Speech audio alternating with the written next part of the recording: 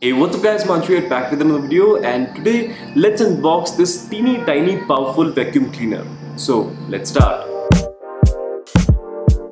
I have opened this box earlier and used it thoroughly but for the sake of this video, this is how the vacuum cleaner came. It's a 1400 watt single function cleaner from Osmon. I think you have never heard of this company before.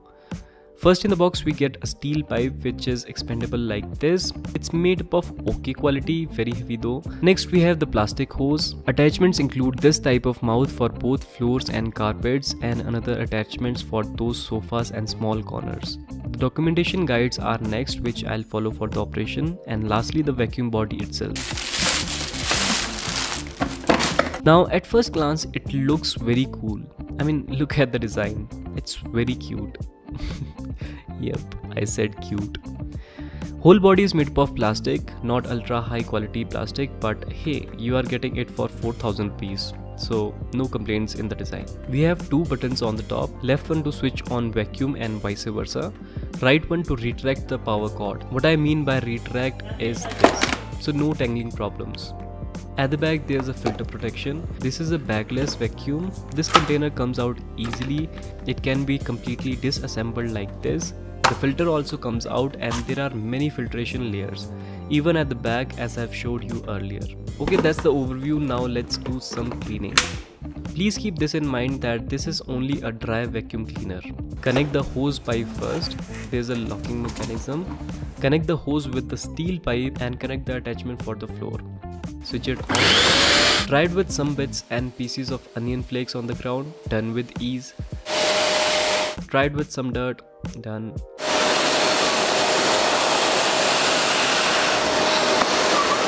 Tried another extension for small spaces, cleaned up the surface as it should do.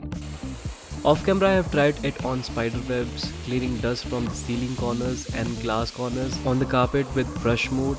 It was done in a jiffy. So all in all the suction power is good.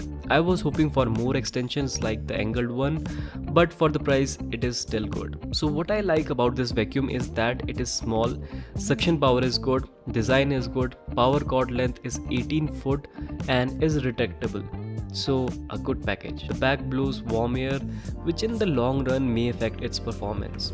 Well if this too I'll let you know. Second con is that this extension is kind of small but decently okay. This does not act as a blower and wet vacuuming is not supported. Well, these features are available in the costlier version, so I guess for the money it is totally okay. I mean, I didn't want a wet vacuum and a blower function. I was in a need of cheap, compact and powerful vacuum that it is. So I'm happy with what I got. If you need an easy to use vacuum with less hassle, then this is for you. If you want to buy this, I have given the best buying links in the description down below. That's all for this video. Thank you so much for watching. If you like the video, make sure to hit that like button and subscribe to CreatorShed if you haven't. And do follow me on Instagram. I'm very active on that. See you in my next video. Till then, this is Himanshu signing out.